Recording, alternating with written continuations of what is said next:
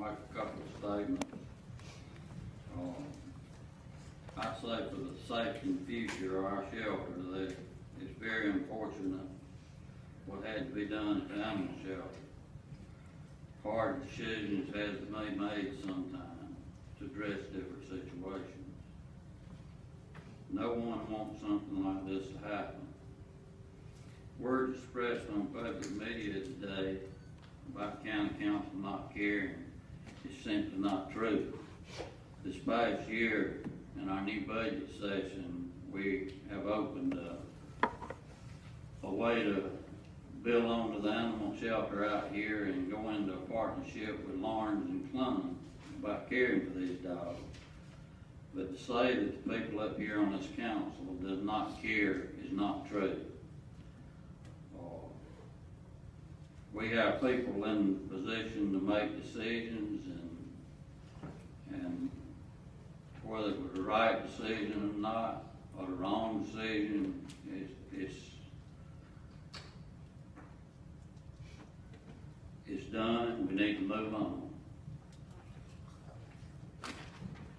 With that, I'll close the public comment section, and I'll open for what county council comments, and I'll start with Mr. David Pitts.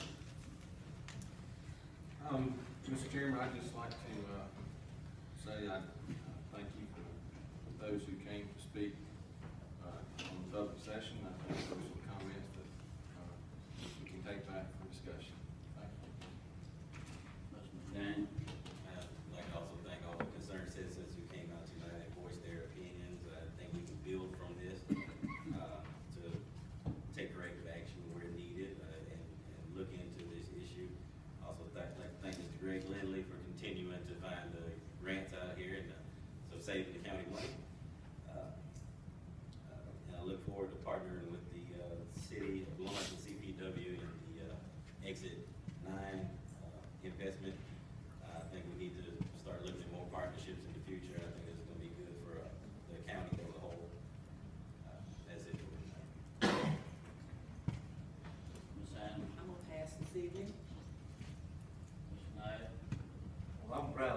Councilman, the best county in South Carolina, or the United States for that matter.